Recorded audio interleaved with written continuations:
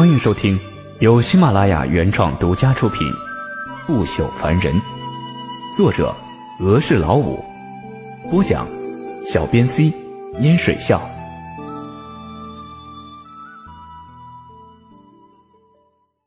第一百八十四章，联盟贡献分。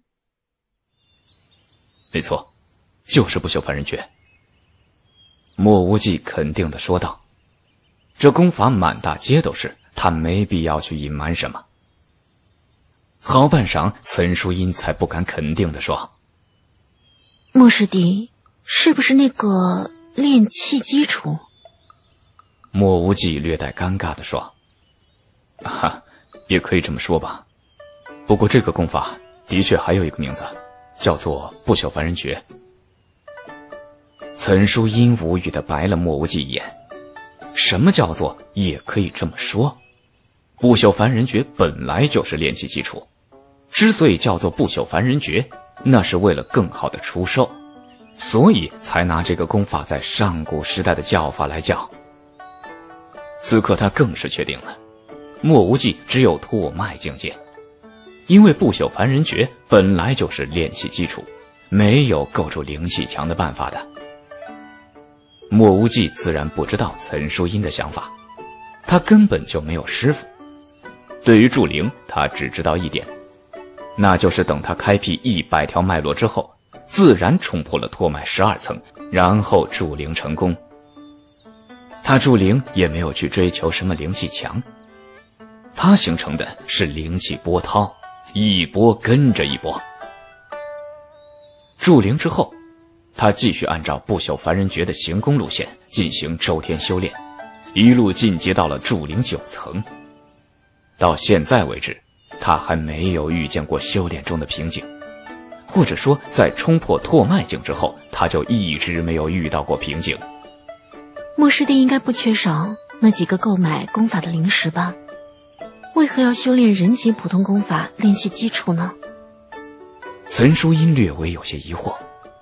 按照莫无忌在雷炼室修炼的时间来计算，莫无忌还不至于贫困到购买不起一个修炼功法。再说了，就算是购买不起，问天学宫用贡献分购买功法也非常的便宜。可以这么说，只要是问天学宫的弟子，都能买得起问天学宫的修炼功法。莫无忌是实话实说，岑师姐。当初我购买功法的时候，还真缺少那些灵石。换句话说，我就是买不起。后来我有灵石了，我觉得不朽凡人诀也不错，索性就懒得去换了。岑淑英闻言正色说：“我建议莫师弟有机会的话，还是更换一个修炼功法。”他本来想要劝说莫无忌以后不要再把普通炼气基础说成是不朽凡人诀。不过想到自己和莫无忌也不是非常熟，硬生生把这话给咽了回去。至于另外一个念头，希望莫无忌创造出天雷七式第二式，也能和他交换一下的想法，那是早就消失无踪了。莫无忌修炼不朽凡人诀，误打误撞在天雷七式残本上鼓捣出了凭空惊雷，已算是妖天之幸了。至于后面的六式嘛，那还是算了吧。岑淑英不再说话，莫无忌自然更是没话说。从问天学宫到域外战场，那可不是一点路，两人这样干坐着也不是个事情。莫无忌主动说：“岑师姐，这个飞车法宝可以隔开吗？要不我闭关修炼一段时间？”当然可以，莫师弟尽管闭关，到了。我会叫你。”岑淑英立即说道。他也很是钦佩莫无忌的勤勉。莫无忌虽然资质一般，但在修炼上的勤勉，那可真是没话说的。说完之后，岑淑英一拍飞车上的一个按钮，这飞车的空间立刻就被隔成了两半。岑淑英指着另外一半的入口说：“莫师弟。”你进去闭关修炼吧，到域外战场，至少还有一个多月的时间。好，那就多谢了。莫无忌感谢了一句。他现在极其渴望实力，一个多月的时间干坐着，那可不是个事情。单独在一间小房间，莫无忌取出了一堆的零食，然后直接坐在了零食堆上。莫无忌很清楚自己修炼的状况是怎样的，一般的灵气根本不足帮他修炼。仅仅十几个呼吸的时间，莫无忌周身的灵气已经形成了灵气漩涡，席卷向了莫无忌各个脉络所在。岑淑音惊异地看着莫无忌修炼的房间，他明显感受到了强烈的灵气波动。这莫无忌不是资质很差吗？怎么能造成这样的灵气波动呢？事实上，这种灵气波动对莫无忌来说当真算是小规模了。可就算如此，仅仅数天的时间，莫无忌拿出来的一堆灵石已经化作了粉末，这可见莫无忌吸收灵气之疯狂。可惜的是，莫无忌的修为仍旧是筑灵境九层，甚至连九层中期都没有达到。莫无忌很无奈，他猜到了，通过灵气浓郁的灵炼室和天品灵石修炼之后。他以后想要晋级，估计比较艰难。现在看来嘛，还真是和他想的一样呢。他有些不太甘心，再次取出了一堆灵石。半个月的时间过去，这堆灵石又化成了粉末。莫无忌距离筑灵九层的中期还是有一段距离。有些失落的莫无忌没有继续修炼。在这样的情况下修炼，的确可以提升实力。不过对莫无忌来说，那不但太慢，也没有畅快的感觉。哪怕没有灵炼式的天品灵石，有灵石矿修炼也好啊。很快，莫无忌就摇了摇头，他想的太多了。每一个灵石矿，那都是宗门争夺的所在。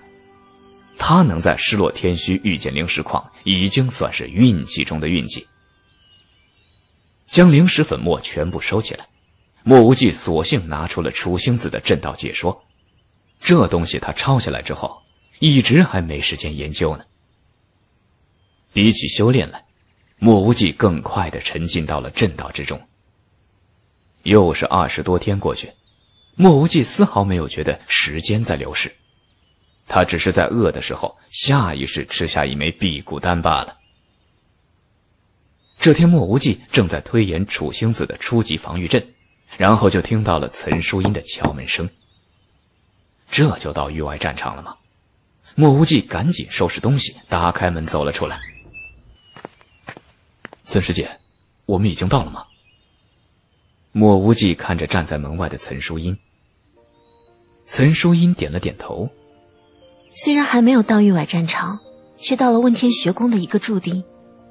这里是星河帝国的地盘，也靠近雷雾森林。这一片的域外战场是问天学宫和星河帝国的几个大宗门负责。他们要挣联盟贡献分，就得去百宗联盟驻地办理联盟贡献积分牌。是长洛城吗？莫无忌连忙问道。岑淑音摇了摇头。长洛被毁掉了，那里现在是一片废墟。我去的地方是安阳，听说这个城市在星河帝国仅次于长洛城。你闭关一个月，修为应该进步不少吧？莫无忌尴尬的回答说：“啊，惭愧，我的修为还是原来的，没有半点动静。”岑淑音在心底为莫无忌叹了一口气，资质太差，就算是再努力，成就也是有限。莫无忌肯定是拿出了一堆灵石，结果又不得不把这一堆灵石收回去，真是可惜了。以莫无忌这种修炼的勤勉，若是有个上品灵根，那成就都估计会超过绝大多数的问天学宫内门弟子。孙师姐，那联盟积分牌是怎么一回事啊？莫无忌可不觉得自己可惜。话说，为了对抗域外修士。包括问天学宫在内的五大帝国所有宗门全部联合起来，组建了百宗联盟。当然，百宗联盟参加的宗门远远不止百宗，所有五大帝国的修士都能够报名为百宗联盟杀敌。一旦报名，就会被发下一枚百宗联盟的身份玉牌。杀掉任何一名域外修士，那都可以拿到贡献分。而这贡献分就记录在身份玉牌之中。这贡献分不但能够在百宗联盟兑换各种宝贝，也可以去各大宗门，甚至是问天学宫兑换各种宝物。听了岑淑英的解释，莫无忌顿时动容。他来这儿，并不知道还有贡献积分的事情。他来此行完全是为了试炼，然后想办法晋级到地界。若是既能试炼，又能够有贡献分这种东西，那简直就太完美了。可是岑师姐，百宗联盟如何知道我杀了多少域外修士呢？又如何计分呢？莫无忌再次问。岑淑英耐心的解答：“因为这些能记录贡献分的身份玉牌是真神境强者炼制的，听说是根据域外修士的散魂状态来记忆。一旦杀了域外修士，域外修士临死前散魂的信息会被记录在身份玉牌之中，然后身份玉牌就会自动出现贡献分。杀的对手越强，散魂的信息就越强。”身份玉牌记录的分数也就会越高。莫无忌搓了搓手，好地方啊！他早就已经想好，要晋级只有去问天学宫最好的灵炼室，而要去问天学宫最好的灵炼室，没有灵石，有贡献分也一样。看见莫无忌一副跃跃欲试的模样，岑淑英是勉强才能压制想笑的冲动。杀域外修士挣贡献分，有这么容易吗？如果这么容易，那五大帝国也不至于被逼成这副模样啊！飞车落在了安阳城之外，岑淑英刚刚收起飞车，就有两名修士过来询问。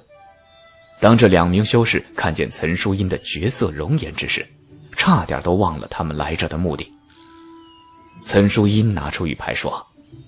问天学宫弟子前来报道，请问联盟驻地在什么地方？两名修士这才猛然醒悟过来，这可是问天学宫的弟子，一旦要是发怒了，他们连死都不知道怎么死的。呃，两位前辈，呃，联盟驻地就在安阳宫。今天贡献榜第二十三名的阴苦前辈路过安阳，星河帝君和离火宗的前阵眼宗主都在作陪。其中一名修士似乎是为了讨好岑淑英，说的是相当的详细。岑淑英跟着说：“我问天学宫是哪位前辈在此负责？”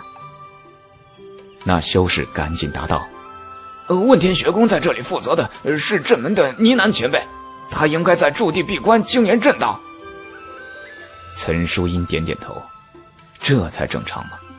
那阴苦是谁？他不知道。但仅仅路过安阳，还不够格让问天学宫的负责人出来作陪。